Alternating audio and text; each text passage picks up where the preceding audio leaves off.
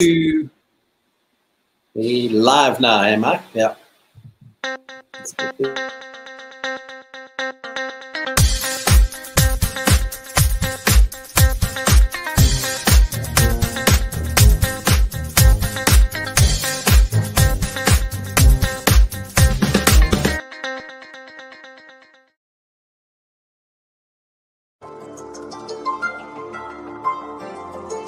Hi, my name's Gareth Lock from The Human Diver. I've been running these human factors or non-technical skills programs since January 2016. They're a mixture of online and face-to-face programs with the aim of improving the performance and safety of the divers that are out there.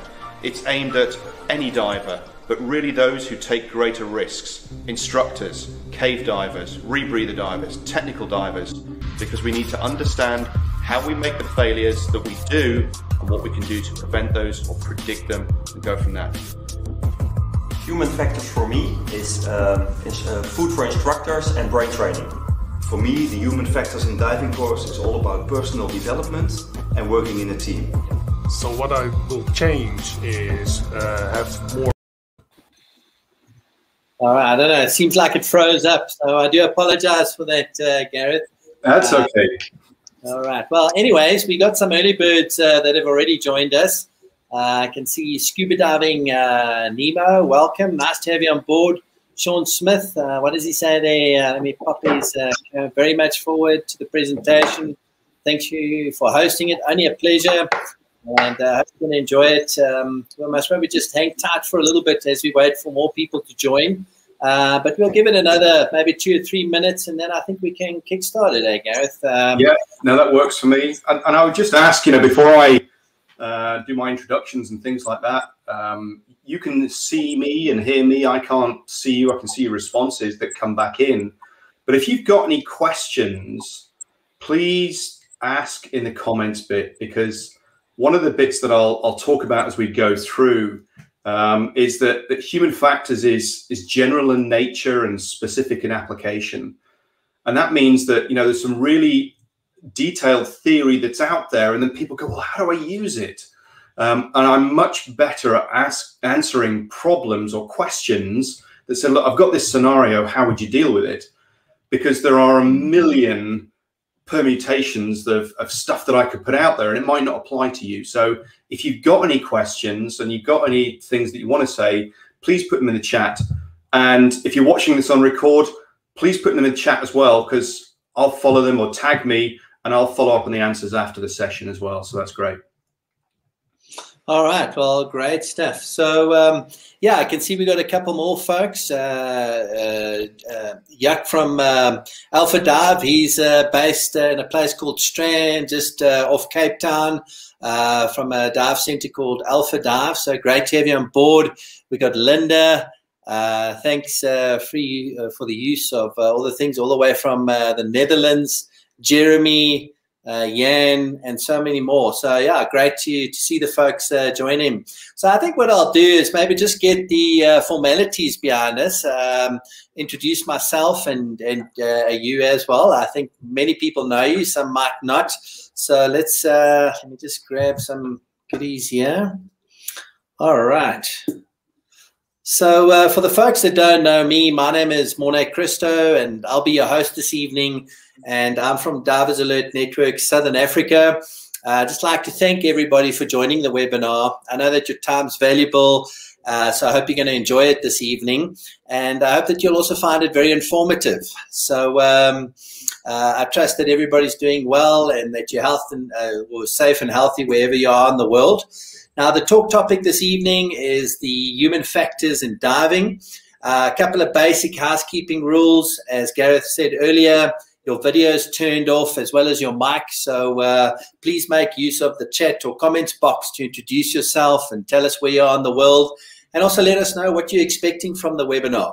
So uh, during the presentation, um, if you have any um, questions, uh, you're welcome to post those in the uh, chat or comments box, but please use hashtag ask and then place your question after that. That just helps me uh, identify the question amongst all the uh, the comments, so that'll be helpful.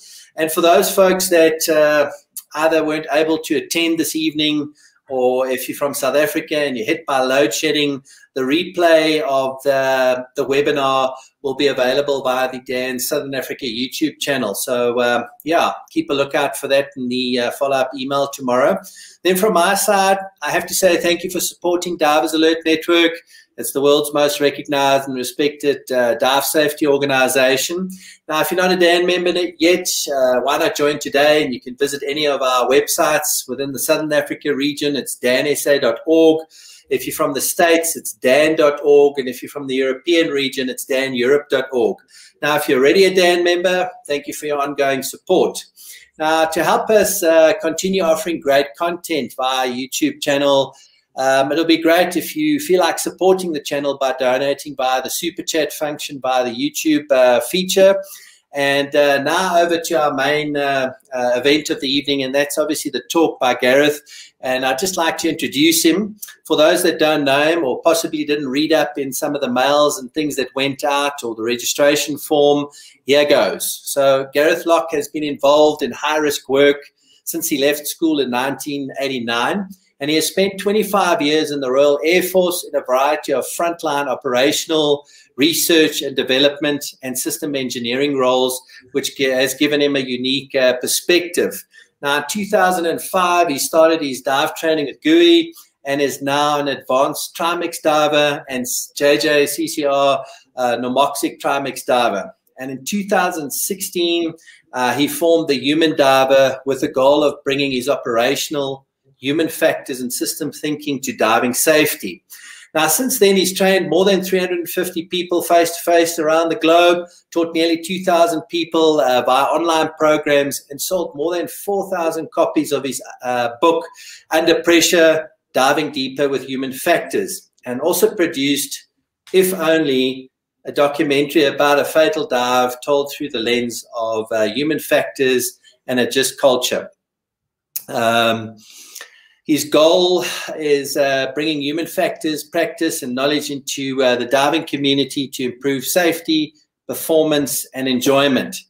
Now, just a quick recap of the uh, talk topic, which is human factors in diving. this is uh, the first of a series of webinars which uh, Gareth will look at uh, what human factors is and what it isn't and uh, why it's important for divers, instructors, dive center managers, and training agencies, and how to apply some simple ideas to improve diving safety and uh, diver enjoyment. So that's uh, jam packed. I'm looking forward to it from my side. Over to you, Gareth, and I hope everybody will enjoy the uh, the webinar. Excellent. Thanks very much for the uh, the introduction. Um, yeah, it's it's a huge topic, and as I said to is this is just going to be the first one, and I, I, really appreciate the the ability, the opportunity to talk to the audience that's out here. Um, I'm strong supporters of, uh, of, DAN, the working with DAN America and or DAN in America and DAN Europe, uh, and now with uh, with DAN Southern Africa, and it's it's a as I say, it's a huge area, and I'm only going to really scratch or touch the top of it to today. And then over the next months, we'll, we'll cover some of the subjects in a little bit more detail. Um, so without uh, without further ado, I'm going to share my screen and okay. go through that. Now, when I share my screen, the, the chat window will disappear, which is a bit of a pain. Uh, which means that Mornay, I'm going to need you to basically tell me if there's something, a question that needs to be said there. I'm happy to answer as we go along. Um, but uh, yeah. uh, we'll go from there. Excellent. Right. So, uh, let me get that up and running for you. Perfect. Excellent. Right. So you should have the introduction slide. Is that right, Moni? Correct. Yes. Uh, human factors and non-technical skills in diving. Cool. Right. So um, Monet's covered uh, a number of those bits uh, already in my uh, introduction. The other bit that uh, not captured in there is my my role. I've done all my training through GUE. Well, I've, I've done a, an advanced nitrox and deco and an initial JJ course through TDI, but pretty much everything has been done through GUE. A number of years ago, I was put into the role of director for risk management and trying to bring some of the, the human factors and risk management aspects into the agency. And I saw just before I, uh, shared the screen, there was a comment about not being in training materials or training agency materials. And that is a, a huge goal of mine is to actually get this material flowed through the instructor development, the instructor training programs, into the instructor programs, and then into uh, the student level materials. Uh, and it has to flow down that way um, because you can't have the instructors teaching stuff if the instructor trainers don't know what's going on. So I've managed to, because of my role within GUE and because they recognize the value of this, we've managed to put human factors into the two rebreather classes and the hypoxic trimix class and looking at how do we put them into other materials. So there are opportunities to do that. It requires the leadership to recognize the value. And one of the hardest bits about human factors, and I, I sort of touched on in the introduction piece, is that it's it's a really huge topic and people don't necessarily understand what it's about. And it can often be summarized as this is just common sense. And it's not because common sense is not common. Um, it is in hindsight, and we can see where things had gone wrong, and we can easily identify the issues, but that's not necessarily the, the case in real time. Now, I wrote Under Pressure as a way of codifying, documenting all of this stuff. Um, and I've had a lot of positive feedback from divers and also non divers. It brings the same sort of stuff that I took from aviation and oil and gas and um, uh, healthcare and, and repackaged it into diving. And the irony is now people in other high risk industries are now taking my material and using it in their own. It's like, fine, I don't care. You know, I, I stand on the shoulder of giants that are out there. Um, so I wrote Under Pressure, and then the documentary, which I'll touch on right at the end, if only, I would highly recommend. If you haven't seen it, go and watch it because it brings together the whole range of what human factors and non-technical skills are about in the diving environment in a very emotional, powerfully emotional story where we talk to uh, the widow of the diver who died, plus the dive team that was involved. So ultimately, you know, nobody goes to work to do a bad job. Um, and, and I would say the same thing happens in the diving environment. Nobody goes out on a dive um, with, with the intention of getting bent um, with the intention of breaking their equipment, with the intention of losing their buddy or their student or getting decompression sickness or ultimately dying. Everybody's trying to do their best. And in other high risk industries, there are examples of this. In aviation, um, in 1977, two 747s collided on a runway in Tenerife and 583 people killed. Um, and you sit there and go, there was technically nothing wrong with those aircraft but there was a series of confusions, miscommunications, misunderstandings, a lack of awareness about where aircraft were that led to this. And it was one of the seminal events in aviation. Bottom left uh, is a story called The Nightmare Before Christmas, in which a, a surgeon was operating on a patient. Um, and unfortunately, the uh, blood vessel burst. There was lots of blood in the, the body cavities, and they were using lots of these surgical sponges to soak up the blood. Um, and what they're supposed to do is count them out, um, count them in, and then count them out at the end of the operation to make sure that nothing's been left behind. And unfortunately, one of the sponges was left behind. It's a, a never event. It shouldn't happen. Um, and the, the, the doctor was held up in you know a disciplinary action against them. And they said, look, I could either stop the patient bleeding and then dying, or I could spend time counting these things there is no way of managing everything so well given the pressures that we're on. Um, so, you know, doctors, highly professional individuals make mistakes. Top right was a team Great Britain in the women's relay race, four years of training, and the rider at the back is the oncoming relay race, uh, relay rider, which means that they're crossing the line before the off-going rider is. And that means that team got disqualified. They won all of their stuff up to the final and they were expected to win the gold. And all it took was 35 centimeters to be disqualified from the gold. Four years gone because of a foot and a bit. And then in bottom right, I'm going to show a little video of the difference between what's good and what doesn't necessarily happen so well. So this is a really well trained, high performance team. And this isn't the fastest pit change that happened. It's down to now, I think, 1.83 seconds to do a four wheel change on a Formula One car as they come into the pit. But it doesn't always go so well. This is a team who'd come in, made a, uh, a tactical decision to come in and refuel, and they didn't actually need to do so, but they they hedged their bets.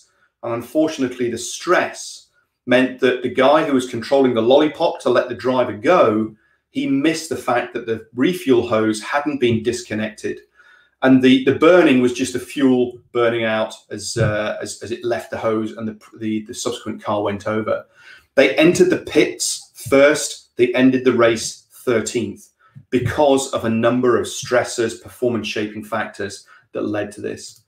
But good divers doing their best. Often we, we see or hear about things going wrong. And in hindsight, we can look at this and go, God, that's stupid.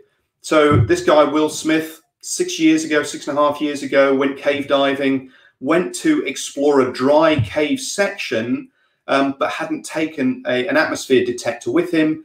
And he passed out because of, of hypoxia and his friends couldn't recover him because they didn't have the right equipment to do so. So they had to go out, and then somebody else came in and recovered the body. Um, that equipment was available, but the thought process wasn't there. Um, a number of years, uh, again, sort of six years ago, this was a double. Uh, anybody dies rebreathers. This was a double cell failure. At that time, rebreather cells weren't very accessible because a company had pulled out of the market. Um, and there were pressures involved that basically led this instructor to diving his rebreather unit when he shouldn't have done. Again, easy to say in hindsight. Uh, and unfortunately, he had a toxicity event, and his two students rescued him. And then we look at diving into the unknown. There's a recovery in um, uh, northern Norway, uh, and I've forgotten the name of it. It'll come to me later. Two divers died at depths of about 110 meters. Um, they they got jammed. One of them got jammed. Another panicked, um, and then they were recovered by their friends. And it's easy in hindsight to see that they maybe shouldn't have done what they did, and they were operating in a very extreme environment. Everybody's trying to do the best they can. So what I'm trying to do with I'm just going to hide this little thing I can't um, with with the work that I do is not just look at the adverse events, the accidents, the incidents that occur, but actually look at how do we uh, operate as, as high performance teams, individuals. Um, and unfortunately, we have a, a number of biases that, that work against us here. And often this is outcome bias. We have a good outcome, great, we must have been safe. Um, and if things are going wrong, uh, or we look back and we see those things that have gone wrong and they're obvious. But if they were that obvious to see, then people would have spotted them and they wouldn't have ended up in the accidents or the, the incidents they did. So I'm going to look at a little bit about human error. Um, this is a quote that comes out of, well, comes way back from aviation, where they were talking about 70, 80% of accidents down to human error. And I intentionally put inverted commas around there because human error is not a particularly useful term. It's great for as a bucket that you can throw things into, like pilot error um, surgical error, diver error, but it doesn't help us because actually, if we end up with human error as, as a cause, then actually it's not. It's it's a it's a symptom of what's going on. It's it's a if we end up in a report that says diver error or human error, that report was a waste of time because it didn't dig deep enough. Because actually, if you look at what goes on in the real world, and there's lots of research, not just from civil aviation, but other areas as well, you're talking about three to six errors per hour being made by pilots on the flight deck. Now, those who don't like flying, I'm sorry about that, but that's just the way it is. But what is important is they recognize that those errors are going to happen and they've developed processes, procedures, tools to trap the errors before they become catastrophic. So it's not just about prevention, it's also about recovery and resilience. If we're going to look and improve our diving safety, we have to understand why it made sense for those to do what they did. Something called local rationality. So to me, doing something in the moment, it makes total sense. It is rational. But in hindsight, other people would look on and go, What on earth were you doing? That was obvious. and this is this is not new. This goes back, you know, 1947. Research done by psychologists looking at the the, the errors that were being made by pilots while flying. Um, and the picture here is of a, a, dashboard of a landing, sorry, of a, of a coaming for uh, a bomber, B-17 bomber that was in operating World War II.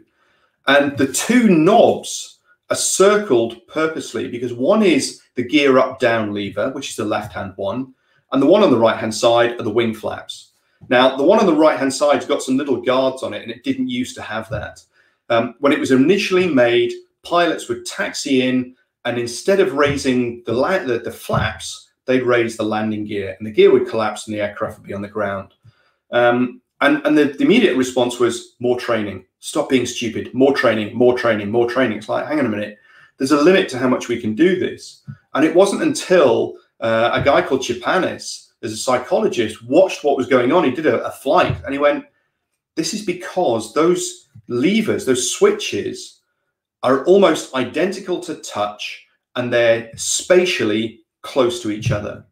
So how's about you put a wheel on the landing gear one and just basically make a, a little stick uh, that sticks out for the flap and you move them spatially in the cockpit. And they never had a similar event again because what they were doing is they were designing the system to take human fallibility into account. Now, if we look at what happens in diving and the research that's out there, um, this bit in the middle, the root cause is most commonly diver error.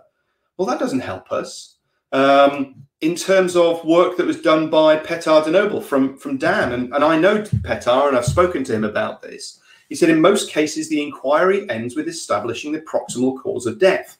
Proximal cause of death is, in effect, in the last 30 to 60 minutes or so in time and space.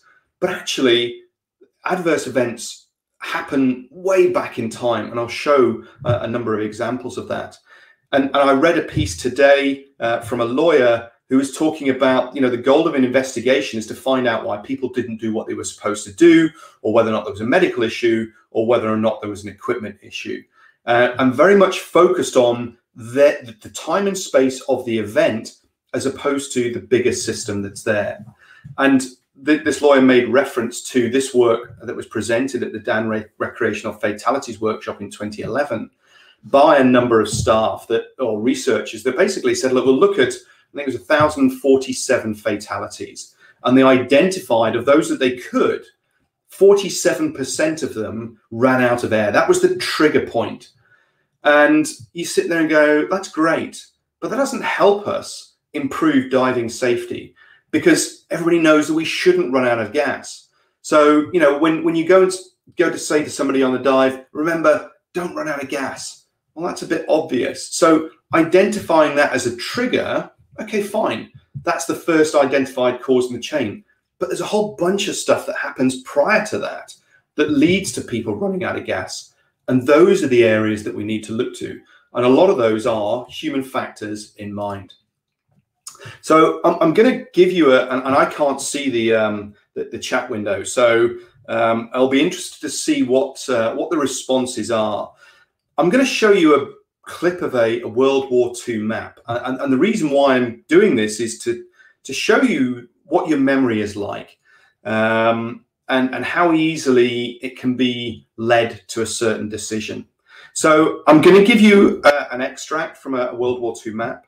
The the the dark areas are water and the white areas are land. And I want you to try and identify where you think this piece of map is from. Now, you've probably got some questions, but I'm not going to answer them because I can't see them anyway. But I want you to tell me where you think this bit of map is from. So the, the water is dark and the land is white. And this is really hard to do in a, uh, a remote mm. classroom where I can't see anybody. So, yeah. um, so yes, you... uh, I've got some uh, folks here, um, Algeria. Okay, keep on reading out. All right, I'm waiting for more to um, to respond. So if anybody's out there, got some uh, take up the challenge, uh, let us know. What do you think, um, I don't know. Uh, Uh, Scotland. Okay, it's not Scotland. it's not Algeria. Have you got any others coming in the window? No, not not unfortunately not. Uh, Oh, okay. No, that's oh, fine. hang on, hang on. Uh, not a map. Face of a cow says. Ah, somebody's seen it before. So okay, no, Northern UK uh, from Greg Dressel. Uh, Jeremy says England. So those are the ones I have for the moment. Okay, so the person who said a cow is correct, and unfortunately, with with the um, uh, with the keynote presentation, you can't see my my cursor. Um, But it is a cow looking out of the screen. So in the bottom right, as you look at it, there's a little bush. Um, the head itself is the main sort of third to the uh, to the uh, center here. It's a real shame, actually. I can't. Uh, I can't draw. There we go. That that's something that I learned. This one doesn't work if you can't uh, if you can't show uh, the presentation. Yeah. So I'll move Yeah. on. So actually, perspective is what we're talking about. So in, in that situation, I set you up to say the land is white, the sea is dark, and people go, but but you told us a lie. You go, well, to a certain extent, I did in this case. But in the real world, I might have got some information wrong, and you go away with the thought process that that's the correct idea. And what non technical skills are about is trying to create a shared mental model within your team. A mental model is an approximation of reality. What the wreck's going to look like, what the reef's going to look like, how long we're going to be, what's the current, where are things going to be, so that we all operate together as a team. Afterwards, we can see where that was completely mismatched. Um, and so, what I'm trying to do is change people's view or perspective of what's going on. And you know, here is a very simple one. Way, great! Somebody's come to rescue me. Way, great! I've got some land to land on. And that's not, you know, both of those views are correct, as are these. And this is one of the skills of when you start looking at the world through the lens of human factors, you start to realize that there are multiple perspectives that are going on here. And we have to recognize that Mornay's view of the world is different to mine, which is different to Michael's, uh, and the people are on the call. All of our views are correct because we view the world through our own lens of experience. And the goal of human factors is and non-technical skills is to align those as close as we can through the skills that are out there. But human factors, I sort of touched on right at the start. It, it's a big topic, and, and I focus on a, a specific area, but it is massive. We we often think about it as how well does my office chair fit, uh, or the mouse that I'm using, or door handles, all sorts of things. Those are the physical ergonomics that are out there. But actually, there's a little bit more than that. There's individual behaviors. How do we think about the system? How do we interact with it? How do we make decisions? Um, what about when we're operating as a team? There are bits about leadership and communication and how we encourage or motivate, to develop other people.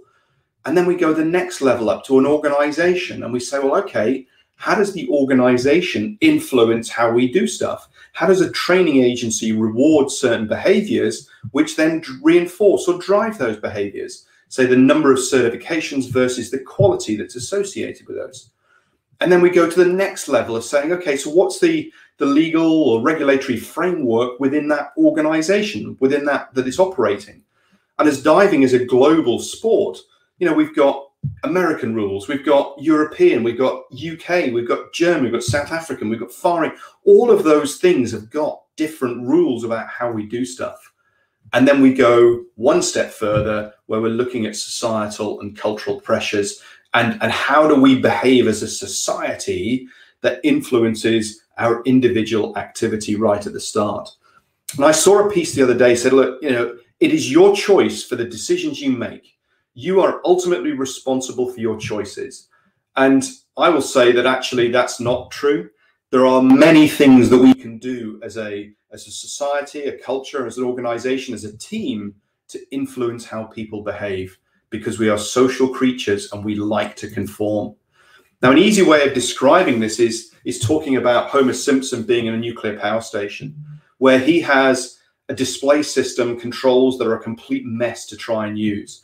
Um, he's um, he needs his donuts and his coffee to stay awake. Um, he's a bit of a scatterbrain anyway, and he's got Mr. Burns who's saying, "Keep the power on, keep the power on," um, because we can't, you know, I'm going to lose money if uh, if I don't give the power to Springfield.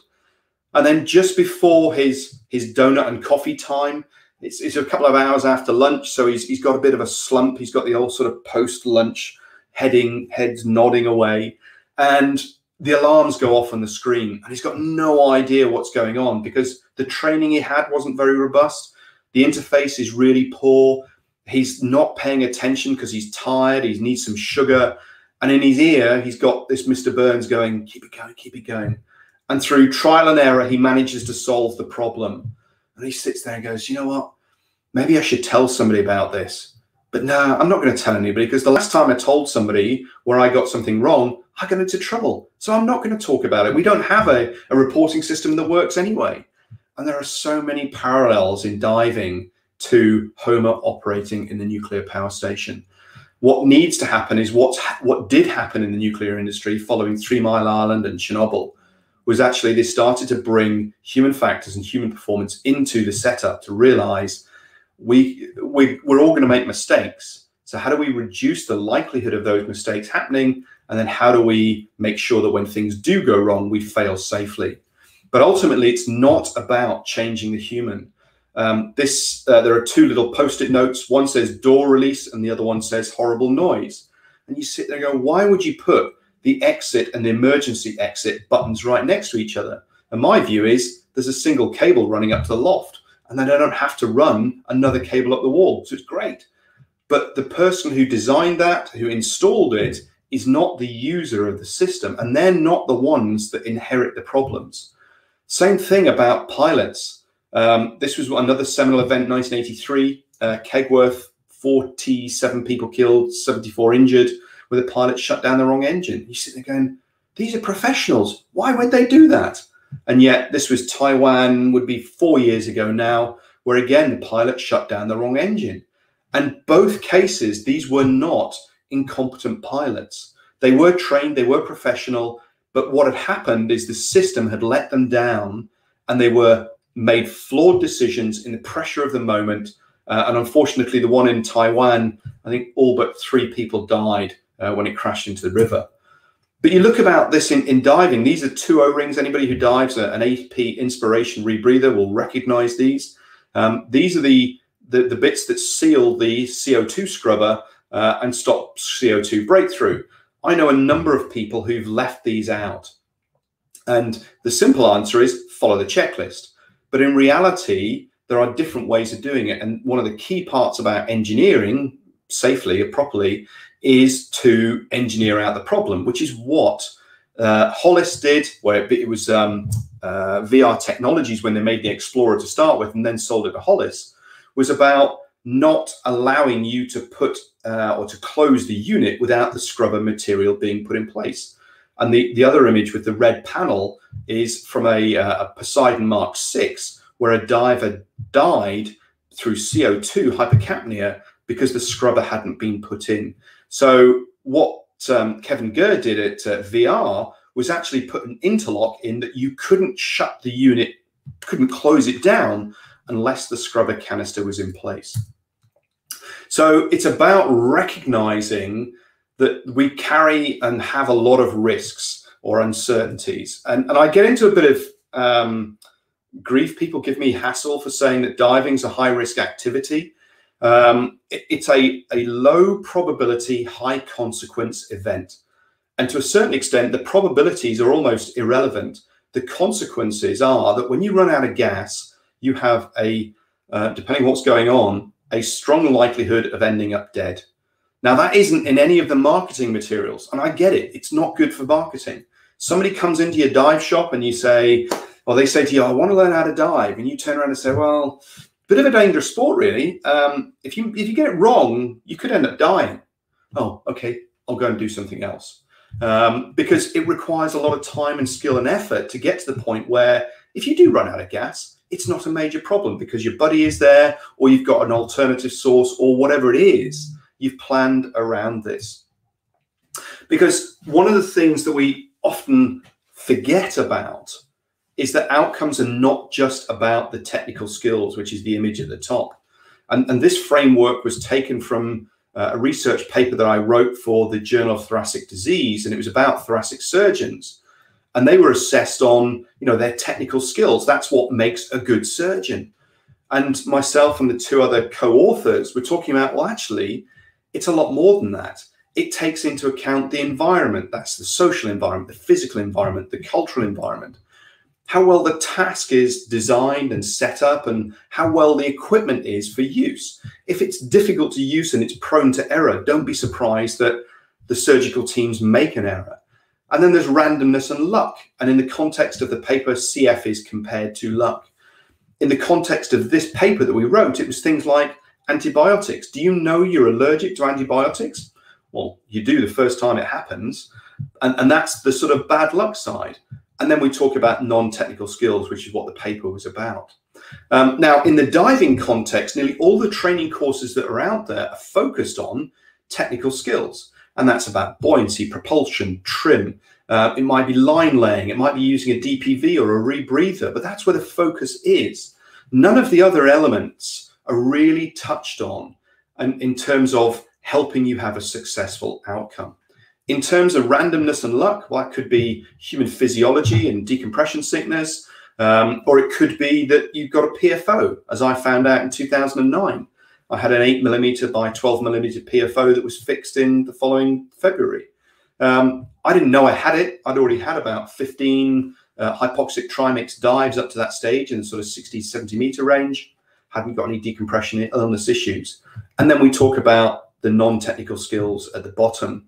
Now you might note that there's a, a, a cross, a multiplication symbol between the different layers, and that is intentional because these are not additive. They are uh, multiplicatory in nature. Um, and the problem is we don't know how important each one of those layers is. We don't know how important the, the factors within there. And as an example, and we don't know what the threshold of success is either. So it could be that my technical skills are spot on. Out of out of a you know out of one, it's 0.9. So between zero and one, it's 0.9. Context, yeah, lots of stuff's on my side. Um, it's a good day, clear visibility, good temperatures. I'm all happy with what I'm doing. That's a 0.92. Randomness, well, that's on my side. It's one, and I've got good awareness about what's going on. I'm making sound decisions, communicating clearly, and I'm not particularly stressed or tired. So I've got a score of maybe 0.8. I don't know what the pass score is. Now, if my technical skills are still 0.9, my context is still 0.9, randomness is on my side, it's 0.1, sorry, it's 1. And my non-technical skills, what happens here is I have some miscommunication, which means that my situation awareness about what's going on around me and what's going to happen next is incomplete, which means that I make a fantastic decision on bad information. So actually, this is now a 0.2.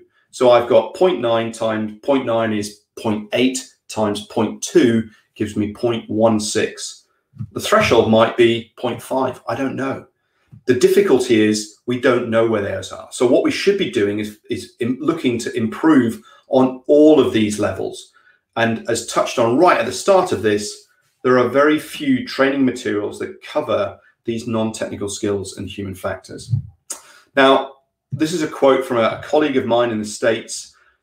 We look at prevention as a way of well, trying to stop bad stuff happening. And his point is safety is not the absence of accidents, but rather the presence of barriers and defenses and the capacity of the system to fail safely. The absence of accidents does not mean that you've got a safe system. It could mean that you're just being really lucky. And I, I often ask people when they come up and go, hey, look at that, that was great. And it looks a bit mm, squeaky, you know, and I say, so were you lucky or were you good? And the truly reflective people will look at it and go, yeah, we were lucky.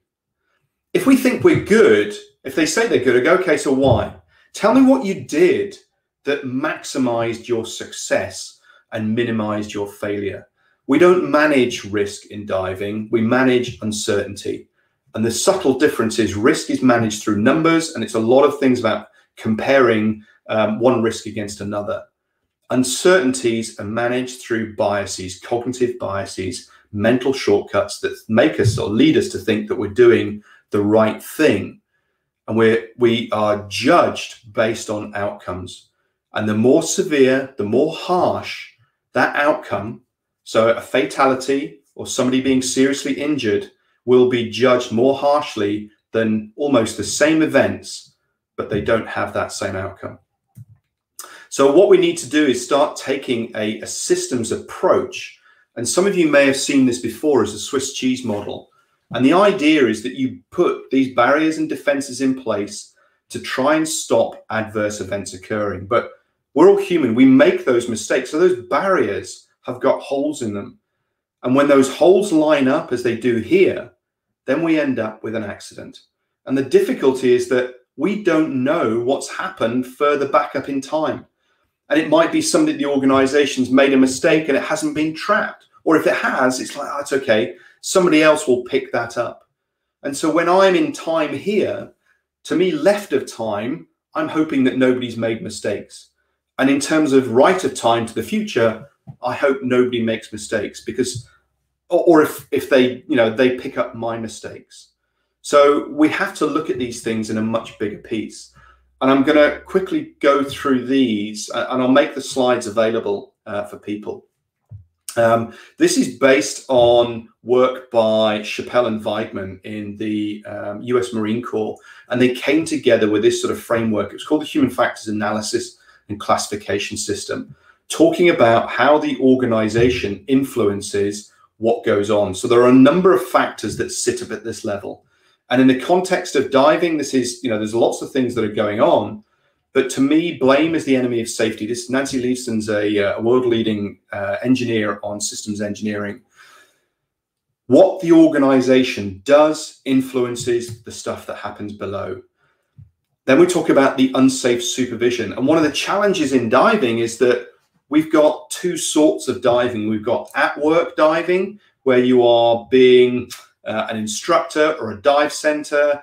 Um, it might be even in a club environment that you're in a formal structure that allows things to be managed. And then we have fun diving. Um, this, this uh, I normally spend a little bit more time on, on this slide, but if you want to know what the image is, B-52 crash and Google Bud Holland um, as a story of how an organization and the supervisory chain failed and it led to a B-52 being cra uh, to crashing in a display uh, when they shouldn't have been doing what they were doing. So there are things that happen at the supervisory level that can be addressed. And then we talk about the individuals themselves.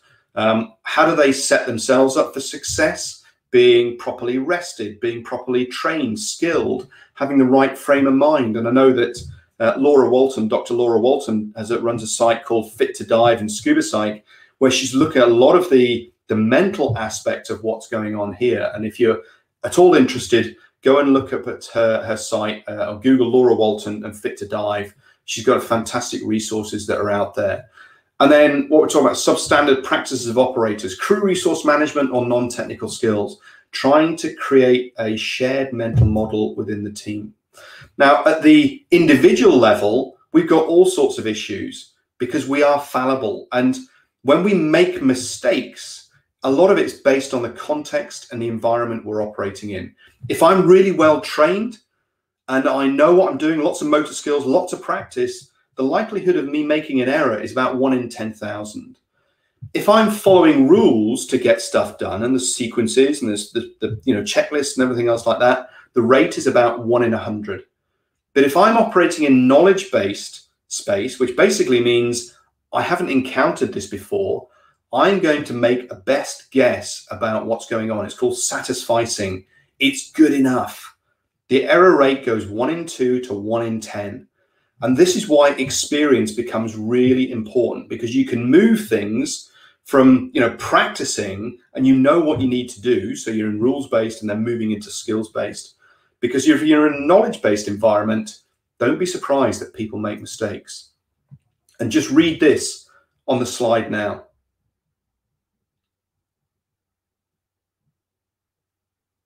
And I'm sure you're scanning up and down going, oh, what? We pattern match in real time to our own previous experiences. And this sort of thing is why it's easy to make the wrong, you know, make a wrong decision given certain information. Now, another part of this is the risks or the, the violations that uh, that we make and we, the rules we break.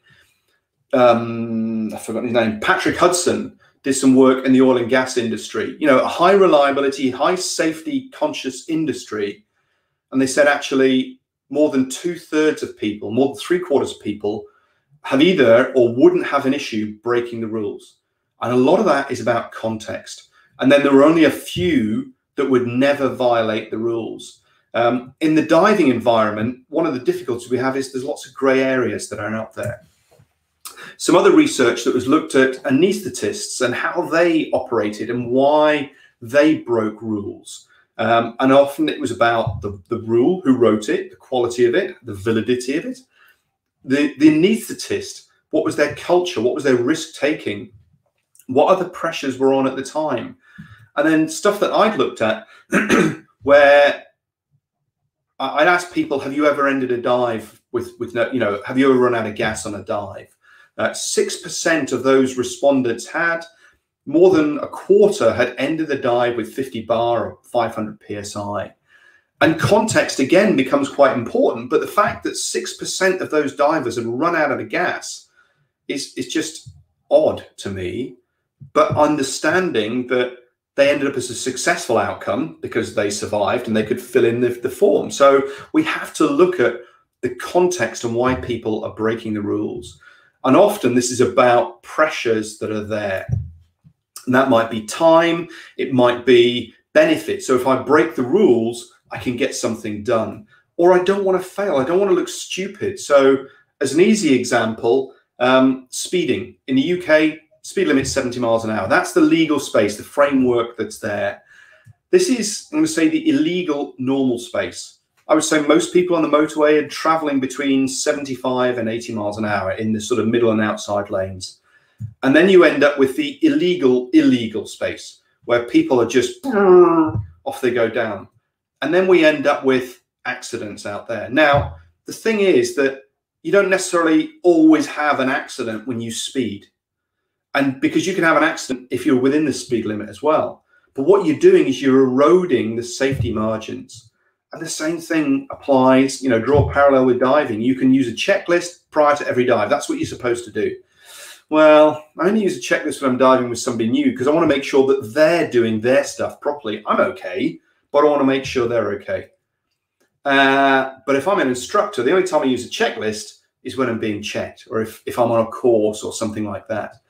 And again, just because you don't use a checklist, it doesn't mean you will have an accident. But in hindsight, you can turn around and go, ah, they should have used a checklist and the accident wouldn't have happened. Now, this normalization of deviance that's there is because we're very poor at looking at uh, absolute distances, deltas that are there. So I have a rule. Uh, the first line, here's the rules. And over a period of time, I'll erode those and I'll set a new baseline and I'll operate to this. And he said, Well, that's, yeah, it's okay. Things didn't go wrong. I'll be fine. And, and we set this as, as the new standard. And over a period of time, we drift again and we drift again and we drift again. And then we have an accident. And you sit there going, Hang on a minute. How could I have an accident? You know, or rather, the observers look on and go, You are so far away from the rules how could you have not seen that? You go, well, no, because what I was doing was looking at this little delta.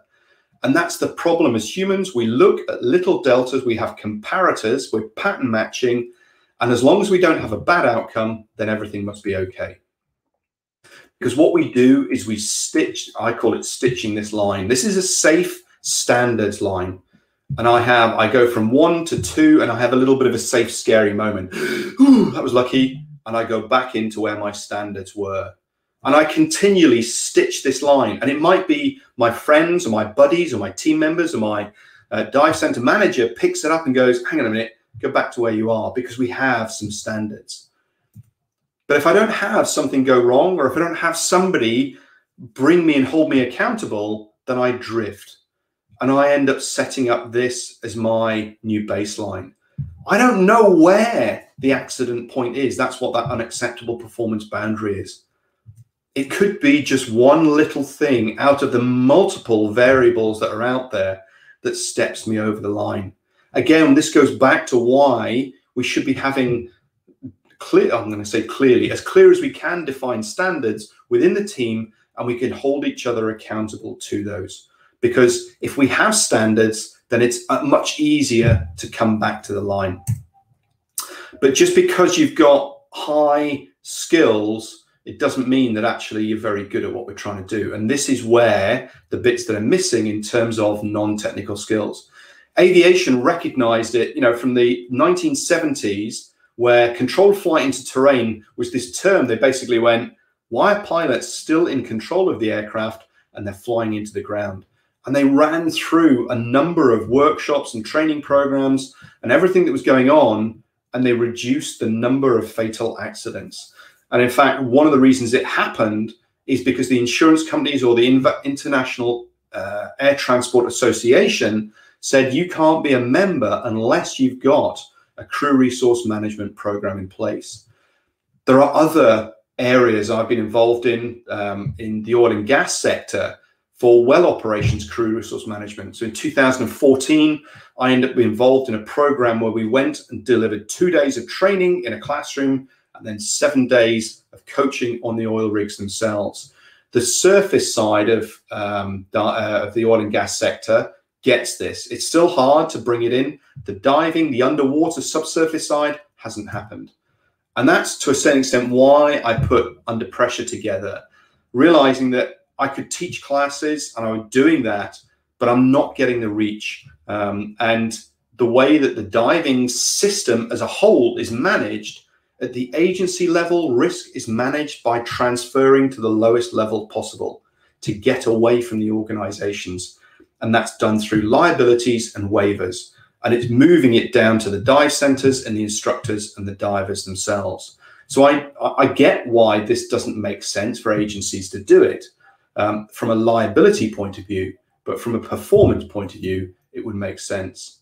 Those skills that are in here are interdependent. So you could develop leadership, but if you don't understand communications, you don't understand teamwork, you don't understand situation awareness and decision making and performance shaping factors, you're not going to be a very good leader. And so, you know, you might develop situation awareness. Great, I know what's going on. But unless I communicate that to my team and I understand how to communicate and what will impact my situation awareness, then we're not going to have successful outcomes either. So, what I do to help you, um, other than doing webinars like this, which I love talking, um, I wrote Under Pressure. The first ever Human Factors in Diving conference will happen 24th and 25th of September. There are 30 speakers going to be present um, from all aspects of diving, from recreational, technical, cave, scientific, military, uh, public safety diving, and commercial diving. Plus, we've got people from outside of the diving domain, like oil and gas specialists, healthcare, talking about how did they bring human factors into their environments. Um, my main website, thehumandiver.com, uh, where all the training programs are, and the link for If Only is humandiver.com forward slash if only. Um, that is 34 minutes long. If you're a dive center manager or an instructor, especially a rebreather instructor, go and watch it, download the workbook, and you can run workshops in your own environment. Uh, and the instructions are in that workbook. It's free, crack on. And that takes me to questions. All right. Well, uh, thank you very much uh, for that. Let me just put my camera on. Great stuff. Amazing talk. Um, while we wait for the questions to come in, uh, I mean, uh, great take home messages with all the checklists. I mean, it, it really just um, makes things so much easier and, and, takes the pressure off a little bit. You know, you got something and, and takes complex things and makes it easier to digest and get ready and get on with what you want to do. Um, it reminds me also of my time when I was running dive centers in Mozambique, having those things in place, things working properly once that system was in uh, and working. Um, yeah. I could relate to what you were saying with some of the commercial side of things, especially say, I think you were struggling with the commercial guys or the diving guys to, to implement certain things. Mm-hmm. Uh, I remember when I implemented, there was a lot of kickback because obviously there's paperwork, you got to do this and, and, and just follow ups and so forth. But once it, uh, you know, got into the flow of things, yeah, things changed and it changed drastically, which was quite nice. So I see um, we got some folks uh, just uh, popped in a couple so, of things. Any, any questions? Any questions from today? And, yeah. and actually, you know, from um, yeah, so Louise, that, that whole normalization of deviance piece about driving, and and the difficulty is, you know, the probability of having an accident is is I don't know one in I don't know twenty thousand miles driven. But if it happens to you there and then, the probability is one it's happened. And, and the difficulty yeah. is, as humans, we're, we're pretty rubbish at judging risk because we've got so mm. many biases that rely on our previous experiences. If we haven't had a bad outcome, then everything must be okay. And I, am a pessimistic person from that, or, you know, because I I see lots of things, and I'm sure you're the same, Mornay. That because you see these events coming in, you go, oh, mm. there's, there's loads of these things happening and yeah, you realize yeah. that actually there's millions of divers out there and mm. you know the probability of of a diving fatality the numbers that i've seen and, and i've got some queries about the veracity of those but you know one in 200000 dives ends up as a fatality yeah. well the problem is that our brains sit there and go i'm never going to do 200000 dives therefore i am not going to die it, it's just you know and people go that's really stupid to think that way no that's how we think about odd numbers like this. We're, we're poor at managing it. We don't know. So, yeah. and, and afterwards, it's really easy to spot these things. Yeah, no, I agree. And I mean, on the day, you never know. Just say from a physical side, mental side, things might go go wrong. You might have done all your checks, but then I guess that's when the training, the knowledge, and all those things you spoke of come into play to ensure it. So we we've got uh, another question here from Al. Uh, we're developing a checklist how do you prevent making your checklist right. too detailed? Great question. I love this one. Yeah. Great. So what you can so Mornay, while I answer this, you can type in um, the hum, www.thehumandiver.com forward slash checklists. Okay. I did a webinar, a 90 minute webinar two weeks ago, or uh, sorry, a month ago, all about this. But to answer your question, Al, it, it's working out what the critical, literally killer items are and work out what the flow is. So, how do you prevent your checklist being too detailed and as a result discarded or ignored? There, there is a checklist is part of a social technical system. By that I mean you have to have some training. It needs to sit in the the, um, the social environment to be acceptable to use. The steps within it, you're probably talking about five to eight steps, and each one of those steps should have three, four, five words in it, and they are mental prompts for the technical training that you've had. The difficulty is when um, checklists are often written, they're like big pages loads, and there's loads of text on it, and people just pick it up and go, I'll do that from memory because I know what I need to do, and they forget the purpose of it. So, yeah, the, the, the there's a whole webinar on, on checklists, which is, is free to. Um, yep, that's cool, brilliant Uh, yeah, popped it in there. So that one, which uh, why human factors are not part of instructor training diving? Is it not important? Um, I'm somewhat biased, and I think the answer is yes. Um, why is it not? Because it's really difficult to show the value of it. Because, uh, and I don't know whether or not you were right in the start, uh, Martin, when I was talking. Human factors is is general in nature and specific in application. But the good thing is, once you've seen it, once you've got an idea of how it works and how it's how it's applied, then it's really difficult not to see it. Uh, and I think one of my uh, instructor trainees is on here, and and we, have had a bit of sort of um, exchange back and forth. Like, I can't stop seeing the world differently now, um, and the, the difficulty is there are a number of those in the senior decision making places of the training agencies who think they're covering it in their materials and they're not. I get course directors, instructor trainers, instructors coming into my classes going, we need this in our materials. The difficulty is making a financial decision based on putting those materials in. Because now, even if you put them into the materials, you now have to go and upskill all of the instructor trainers, all the instructors, and then get that flow down. So there is a huge, and it's something that I've learned over the last 10 years that I've been doing this, is understand things from a systems perspective. Um, and there has to be a huge shift. In aviation, it was about sticking aircraft in the ground and, and low public confidence in aircraft being reliable. In healthcare, it's the number of dead people, unfortunately, due to medical error, medical error, um, where we're looking at changing things. Oil and gas is the same thing. There is, I doubt, uh, I'm being quite brutal, I doubt there will be enough people killed to make a difference in diving that says we have to put this in place.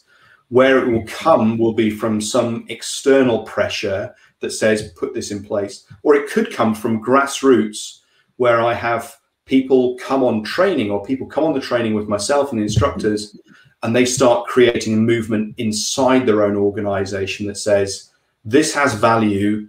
Let's put it in place. Yeah. Yeah, I guess you, you first need to have that experience before you understand uh, the need, the necessity, and the value of it. Um, yeah. Here's another uh, question, I guess, uh, during dives with missions, how yeah. can we maintain situational awareness? So it, it's a really valid point. And the difficulty with situational awareness is it's based around your own technical competencies as well. So you've got to have spare capacity. You've got to be able to do whatever you're doing with some spare brain power so then you can see what else is going on around you so there is a, a, level of competency that you're then comfortable and then you've got some spare brain load or brain capacity that you can look elsewhere. Then what you do with that is you use effective briefs to tell you what you're expecting to see and what might happen and what the cues and clues that you should be looking for for when it's going horribly wrong. And then you have debriefs afterwards, structured debriefs that say, okay, what did we learn on that dive? What do we see? What do we feel? What do we hear? And as a team, you share those experiences. And this is some work that uh, psychologist Gary Klein did looking at something called naturalistic decision making and how firefighters in the moment would be able to make decisions without realizing it. And, and he would ask these guys, how do you make that decision? You go, I don't know, it just did. And he said, well, what he did was he observed them and they would come back from a, from a job. They'd put the engine in the shed, they'd clean it up, clean the gear up, ready for the next shout. And then they'd go upstairs, they'd grab a brew and they'd talk through as a team what they saw, heard, felt, smelt, what it meant to them, what the significance was. And then as a team, they increased their shared mental model about what might happen the next time. And each time they built that up. So from PSD side, you've got a structured environment. What you need then is the the leadership that says we are going to run man, you know, structured briefs and we are going to run structured debriefs, and that's how we're going to get better. Um, it, it's there is no magic bullet for increasing situational awareness other than being competent, so you have spare mental capacity to deal with it. Yeah. All right. Okay, so Dominic, um, I think just uh, compliment and, highlighting uh, what you've done from the aviation side into to diving. So that's great. Uh, let yeah. me just see. So follow up on Dominic's one there. Yeah, we haven't had our Haddon Cave, unfortunately, um, okay. which was for those who don't know, it was a, uh, a Nimrod exploded over Afghanistan, uh, and the investigation was completely damning about how the Ministry, UK Ministry of Defence managed aviation safety and it was very much a tick box culture sign it hand it over hand it over hand it over and there was just a huge accrual of of hazards without people realizing it and there was a, a, mm. a hot air leak over a fuel pipe which then um, caused an explosion with total loss of life so yeah uh, wow. Antonius, uh, sorry, uh, Martin. I can just see I'm missing it in my course and instructor, and probably why I did not feel I was missing that side of diving. Uh, Martin, I think you might be. Are you Netherlands based? Uh, if so, um, there's a guy on here called Bart Den Ouden who's uh, Yeah. my instructor in the Netherlands. So you two can hook up uh, if that's the case. Okay. Uh, yeah, got that one. And then All Antonius, do you think there is a way of improving uh, human error? Well, um, I think what you talk about is reducing human error. We are all fallible. We will all make mistakes. What we can do is look at error-producing conditions. So on the, um, the, the the little framework that I had, I got a little a vertical point that said stress and fatigue. Well, they're the two main performance shaping factors that are there. What they do is they limit our attention, they shrink our ability. So going back to uh, where's the PSD guy? Aaron's point about situation awareness. If we have a limited situation awareness, we can't make sound decisions because we're not collecting all of the information. Um, what we can do is we can reduce those error producing conditions. So, time pressures, money pressures, uh, developing competencies in the skills, having debriefs that are there. We're never going to get to zero human error. We're never going to get to zero incidents. We're never going to get to zero fatalities. There is always a likelihood, albeit a small probability, of something going wrong. So, as a consequence, what we need to be doing is that quote from Todd Conklin look to fail safely. So you have stuff on this side of, of an event, preventative training, um, equipment, servicing, all sorts of stuff, an event in the middle, and then on this side when it goes wrong. That could be DAN. It could be medical services. Uh, it could be training, rescue skills, teamwork.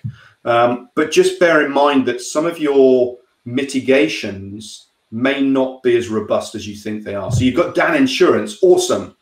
You're in the middle of the Pacific Ocean.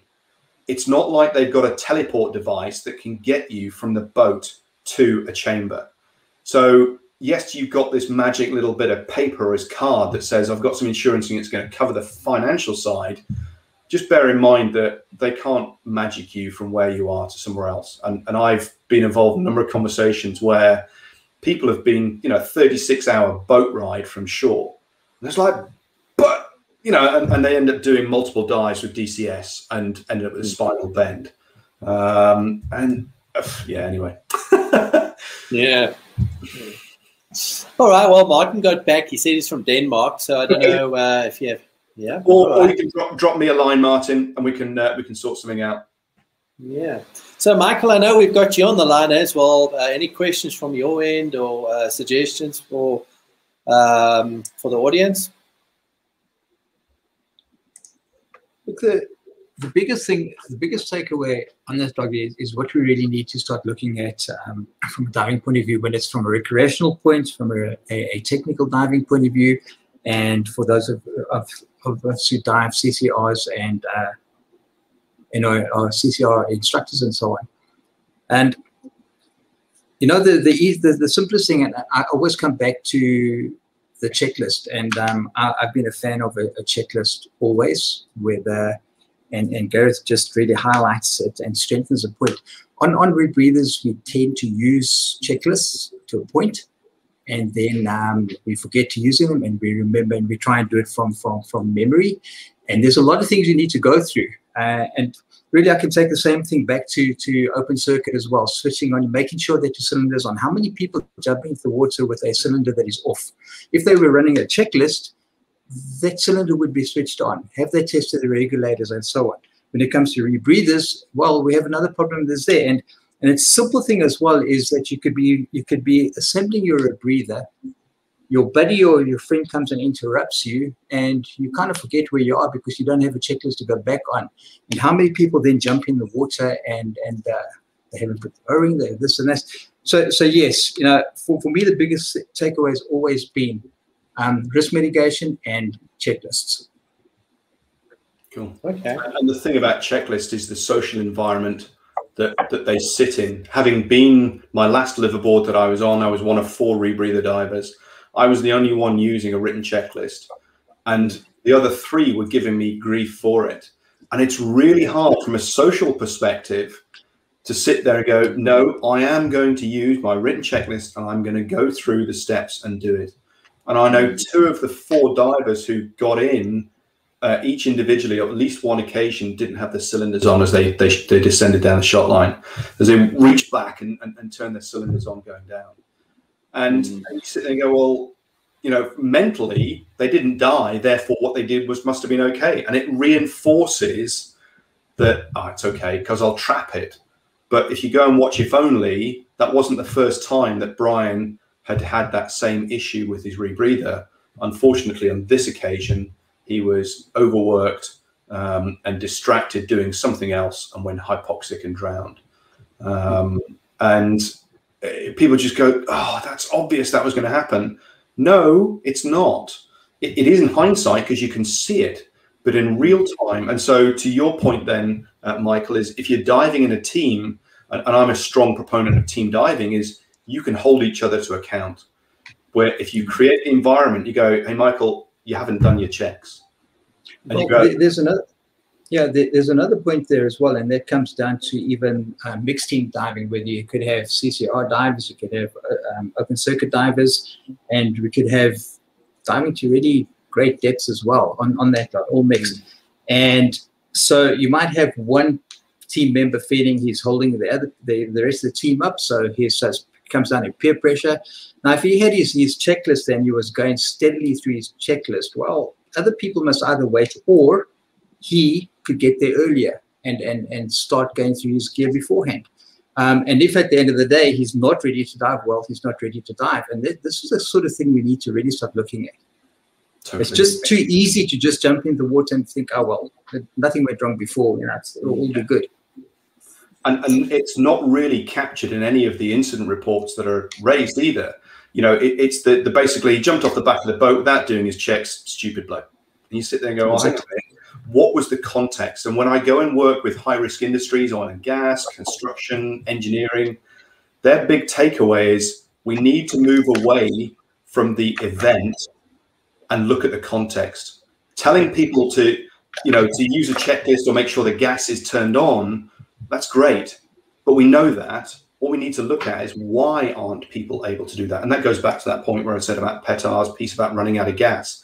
Everybody out there, don't run out of gas, okay? Duh, it's obvious.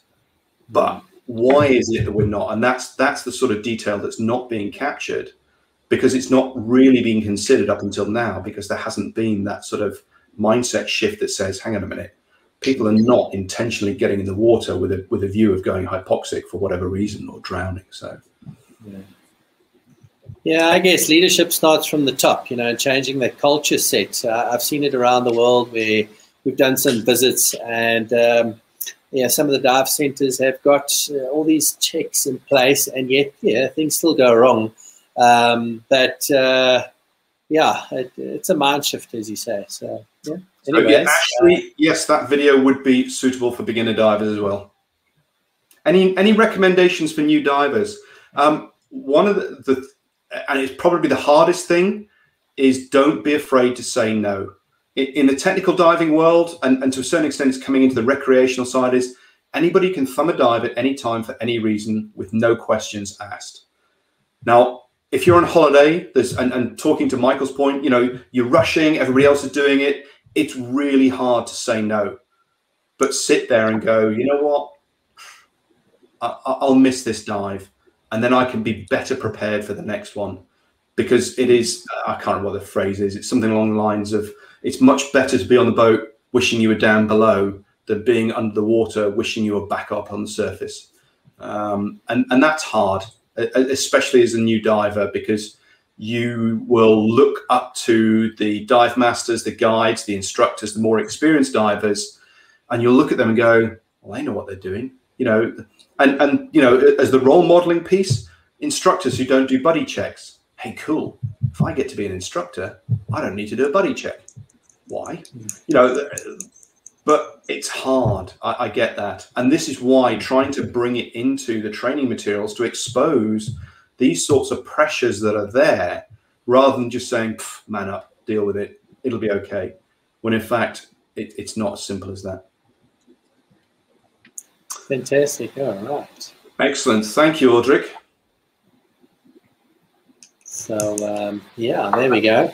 well, if there are any more questions, uh, you're more than welcome to ask the way. If not, uh, we'll give it a, another little bit um, before, uh, I guess, we can call it a night or an evening. Uh, from my side, it's been fantastic. Uh, uh, great to catch up and look at all these different aspects that, um, yeah, I guess sometimes are, or quite often, overlooked rather than taking them into consideration and then moving forward to, you know, I guess, enjoy the sport far better Mm. And, uh, you know, I like your, um, it's good to know that uh, it's not just uh, the folks out there, but you also feel the social pressures, Gareth, uh, from time to time. Oh, totally, totally. It's really hard. And, and, so, you know, just even two weeks ago, I did my CCR uh, refresher or I did my GUE CCR class.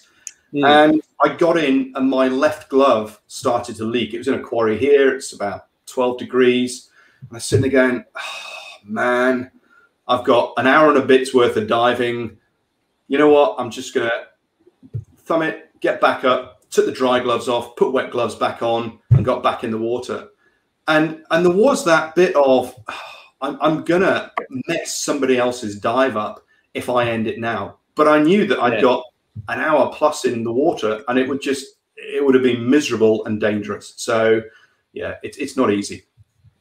So is that the human factor then, I guess, I guess. It is. It's yeah. And it's that bit that says, how do you prepare yourself? And it's this recognition that says, it's the wrong thing. I need to change that. And that requires yeah. mental courage to do so. Um, mm. So, yeah, it's. Uh, yeah. Well, I guess that's. Uh, it's, it's part of being uh, social creatures, you know. We we're always going to put those pressures on ourselves, oh, but oh, yeah. yeah, we'll manage them. So I can see loads of thank yous uh, and uh, uh, gratitude and all that kind of jazz. So that's fantastic stuff. Um, from my side, thank you very much for everybody that attended. I think, uh, you know, the load shedding in South Africa hit us a bit hard. Uh, it's not everybody managed to, to join, but we had a good uh, 70, 80 odd people on the call from start until now. So that's been great. Uh, for the folks that have been supporting us uh, this evening and for many of the other webinars, thank you so much. And then from my side, Gareth, thank you for making the time and your willingness to actually offer more of these going forward. So, um, yeah. Uh, in about a month's time then.